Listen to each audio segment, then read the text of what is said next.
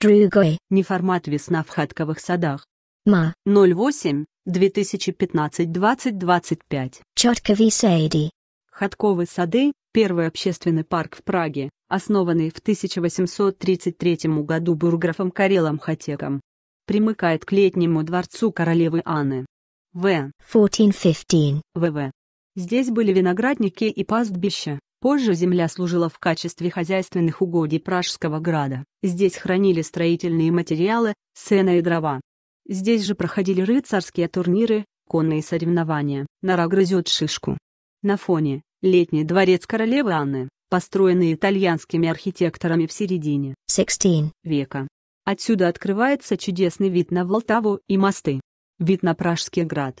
Воздух прогрелся и над городом появилась совсем летняя дымка. Собакам здесь раздолье. Рисунок 7. Вид на Малостранскую и Карлов мост. Собаки набегались на солнышке. В Праге часто вместе с меню приносят миску воды для собак.